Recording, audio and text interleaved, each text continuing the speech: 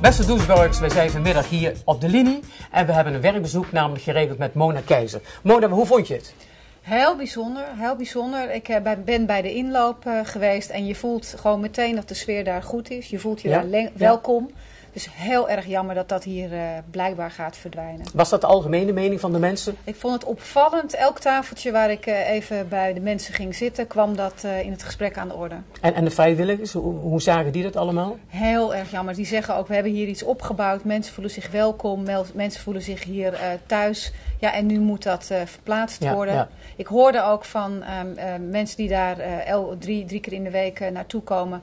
eh, dat het straks ook gewoon lastig wordt om weer op die nieuwe plek Ja, eh, ja, te ja. komen. Ja, het is gewoon jammer tot zo'n locatie, zoals een toplocatie, die mensen die dit helemaal opgebouwd hebben, al die jaren lang, tot dat nu in één keer weer moet verkassen. Dus we zijn eigenlijk bezig, jongens, eh, moet dat nou? Het had anders gekund. Als het aan CDA had gelegen, had het zeker anders gekund. Wat vind jij, Mona? Volgens mij, eh, als ik die mensen hier gehoord heb en als ik voel hoe de sfeer hier eh, is, je voelt je meteen eh, welkom. Een van die mensen zei ook, het is gewoon een soort warme deken Ja. die om je heen gelegd Ja. wordt. Ik denk ik dat dat absoluut klopt. Bedankt voor je steun. Graag gedaan en heel veel succes eh, 19 maart. Mensen, stem CDA, Gerard Albers. Dankjewel. Prima. Goed zo.